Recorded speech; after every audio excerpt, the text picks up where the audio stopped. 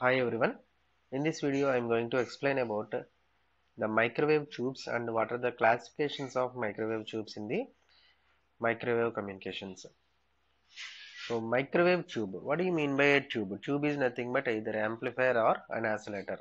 But here as it is working at the microwave frequencies, it is known as microwave tube. Okay, normally in the uh, normal analog or digital communications uh, where the low frequency applications are used there we have used either BJT amplifier or FET amplifier. There such type of devices are also known as tubes.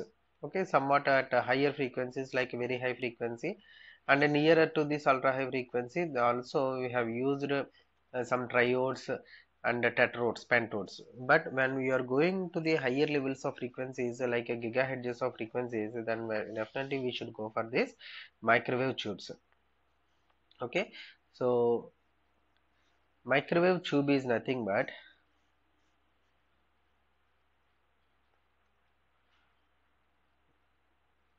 microwave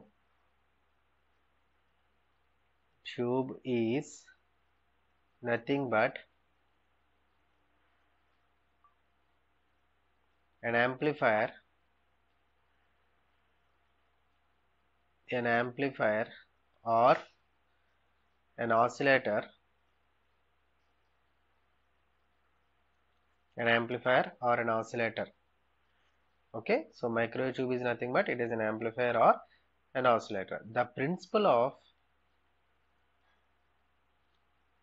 the principle of operation of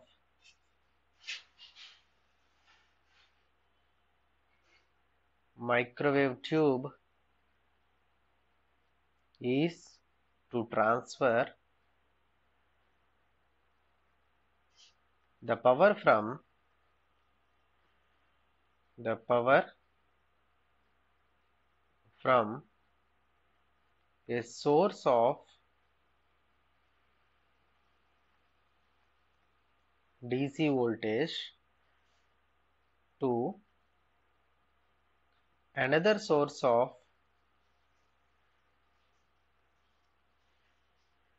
DC voltage by means of by means of current density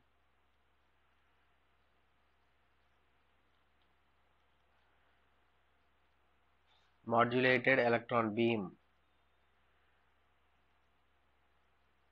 modulated electron beam.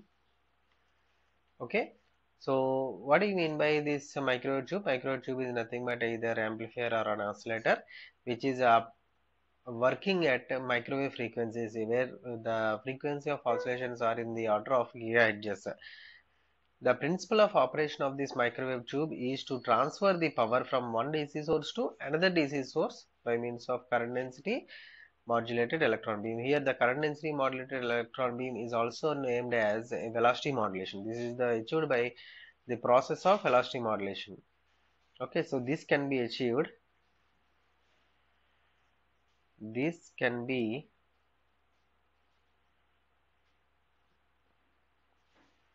achieved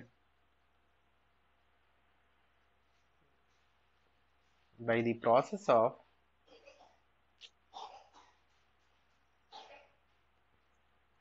velocity modulation.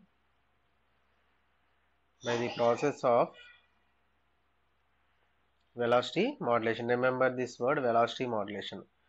Velocity modulation is nothing but change of velocity of the electron when it is traveling from one place to another place.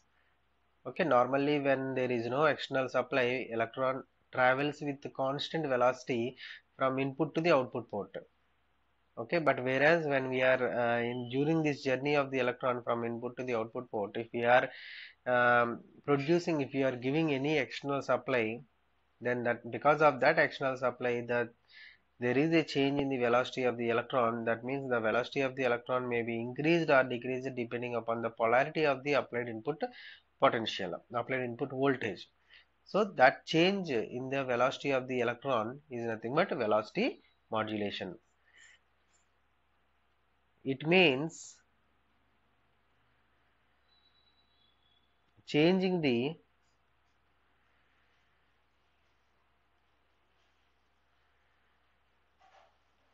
velocity of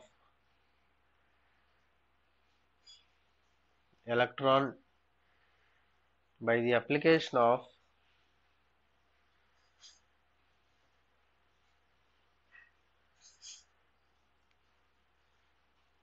an external signal.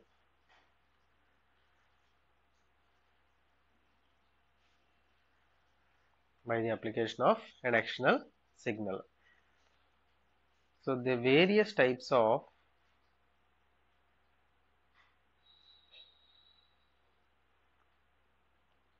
various types of microwave tubes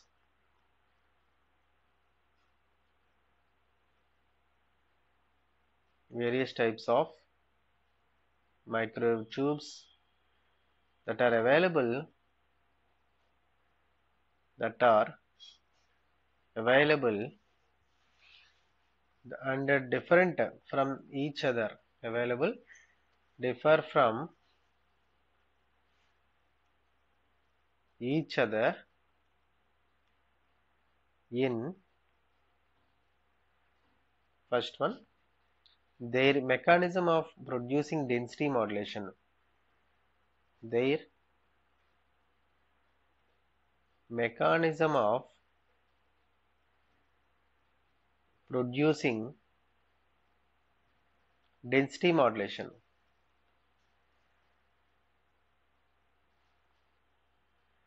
Their mechanism of producing density modulation. The acceleration and the acceleration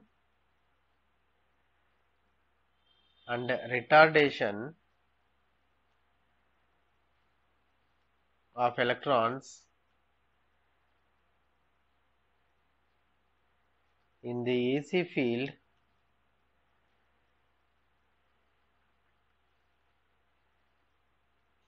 and finally the retardation of electrons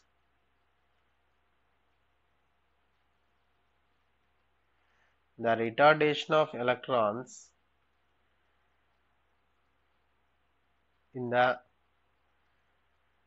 the retardation of electrons by a shotgun by a shotgun or over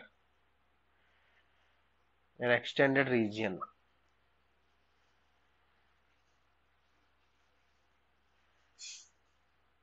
extended region. So these are the different types of microwave tubes that are available and differ from each other in these following. The mechanism of producing density modulation the acceleration and retardation of electron in the AC field and finally the radiation of electron by the by a short gun or even an extended region even an extended region. Now let us see the classification of these microwave tubes. Okay so microwave tubes microwave tubes are classified basically into two types. So one is o type tubes which are known as linear beam tubes. Okay o type tubes and linear beam tubes. And second one is cross field tubes which are also known as m type tubes cross field tubes are also known as m type tubes.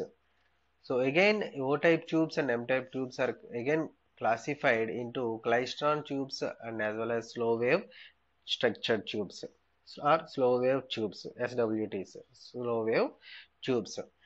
So the klystrons and slow wave tubes are again further classified into three different types from the klystron and two different types from the slow wave structure so from these klystrons there are again three different types of uh, uh, amplifications or any type of oscillation that can be generated. One is a two cavity klystron another one is multi cavity klystron these two becomes amplifiers and as well as reflex klystron type is acting as an oscillator. Reflector reflection type is an oscillator. Okay that means two amplifiers and one oscillator that um, that comes under the category of klystron and second type of this O tube tubes was a slow wave structure where two different types of uh, amplifiers and oscillators are being used. One is TWT and one is BWO TWT stands for traveling wave tube. TWT is nothing but TWT I will write here. TWT is nothing but what do you mean by that? Traveling wave tube traveling wave tube. What about BWO BWO is nothing but backward oscillator oscillations backward oscillations.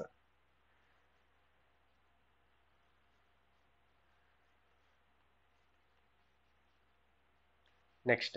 So here TWT acts as amplifier and BWO acts as oscillator. So TWT as it is an amplifier it takes the input and produces an amplified version of the input signal. But BWO whereas the backward wave traveling tube the backward wave oscilloscope where the signal can be oscillated at a particular uh, microcontroller sorry my, at a particular mic um, microwave frequencies okay in terms of gigahertz. Another type of classification which was a uh, cross field tubes cross field tubes where cross field tubes are also known as M type tubes. Okay first one is O type tubes and the second one is M type tubes. So cross field tubes M type tubes are again classified into three different types. Three different types. They are magnetron carcinotron and gyrotron. So magnetron resonant type uses standing wave and uh, this uh, carcinotron which is a non-resistive type non-resonant type uses a forward or backward wave whereas gyrotron it uses a Maser effect. Okay? So again uh, these three are acting as basically oscillators whereas the carni uh, carcinotron which can also be acting as an amplifier. Okay? This is the broad classification of these microwave tubes. This is the broad classification of these microwave tubes. So very very important and easy also. Okay? Broadly they can uh, we can call it as a uh, linear beam tubes and cross field tubes. Linear beam tubes also known as o type tubes and cross field tubes are also known as m type tubes magnetron type. Okay? So this is about the classification of these microwave tubes. Thank you